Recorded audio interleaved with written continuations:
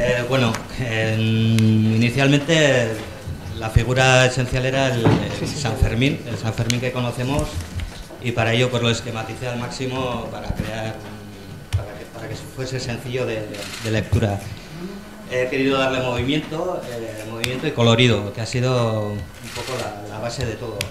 Y a la vez un poco las transparencias que he utilizado eh, para que no sea material.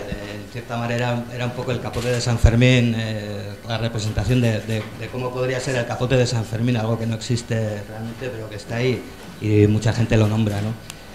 El fondo negro eh, sí que en cierta manera ayuda a ganar en, luz al resto de colores y bueno, creo que es un cartel que, viste mucho y que va a ser eh, para la gente visitante creo que le va a gustar y va a ser buen cartel, sin más.